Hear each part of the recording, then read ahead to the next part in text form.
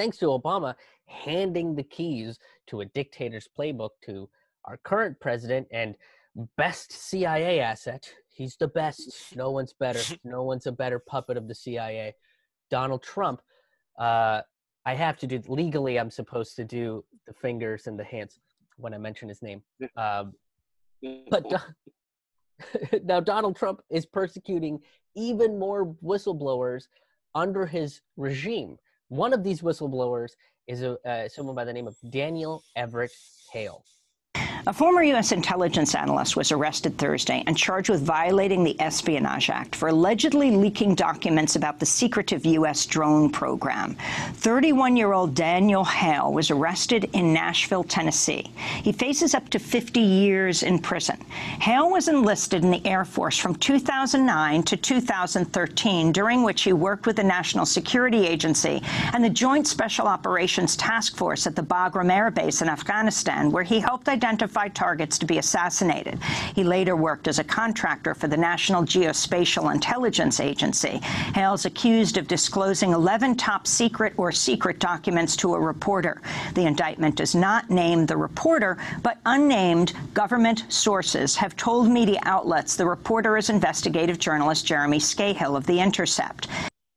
Now, in 2015, The Intercept did put out a series of stories called The Drone Papers, which outlined how the Obama administration was using inaccurate technology and kill lists to take out people they considered quote unquote dangerous. Um, what we've published uh, is an extensive uh, look into how this program has operated historically, but specifically under President Obama. One of the most significant uh, uh findings of this, and my colleague Cora Currier really dug deep into this, um, is we published for the first time the kill chain what the bureaucracy of assassination looks like. And what you see is that um, all of these officials, including people like the Treasury Secretary, are part of uh, signing off on all of this, uh, where they have these secret meetings uh, and they discuss who's going to live and die around the world. And at the end of that process, it is the President of the United States who signs what, what amounts to a uh, death warrant uh, for whoever they've decided should die based on what amounts to a parallel secret uh, judicial system in the United States that is not really subjected to any kind of judicial review, where the president acts sort of as emperor, issues an edict that you die. And what we show, and, and this is the first time that, that there's documentary evidence of this, is that the president gives the military a 60 day window to hunt down and kill these individuals. Uh, Ken Roth from Human Rights Watch uh, pointed out today if the standard is that the people who are uh, being targeted uh, for assassination uh, is that they represent an imminent threat, which is what the president says the U.S. policy is, uh, then why do they have 60 days to do it? Why don't they need to do it now if it's imminent? Well, that's because they've redefined the term imminent to, to, to be so vague as to not even resemble its actual commonly understood definition. So here's the thing. When I was in high school, a girl that had a crush on me put me on a kill list when I didn't reciprocate those feelings.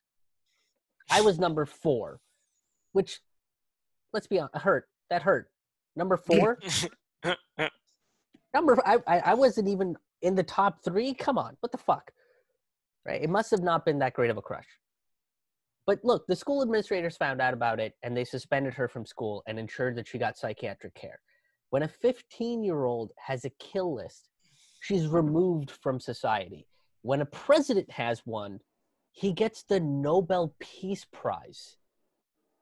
Yeah.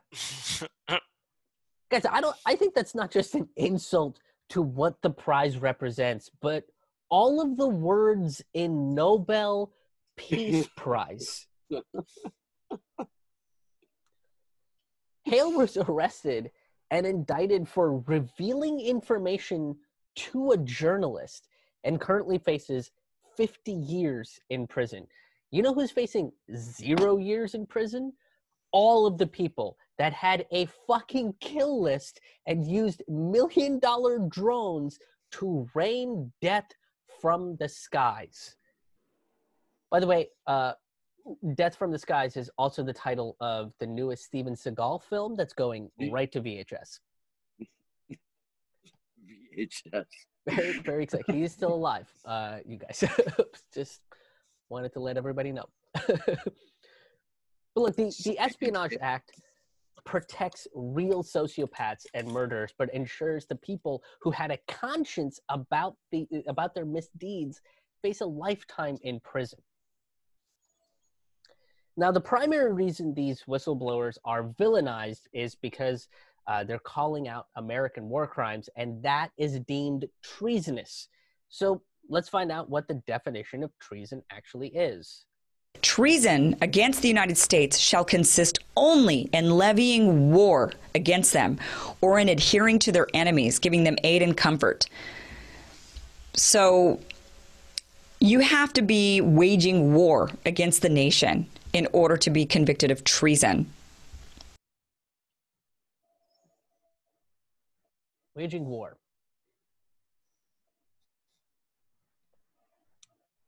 If that's the definition of treason, then the entire Confederacy should be considered treasonous.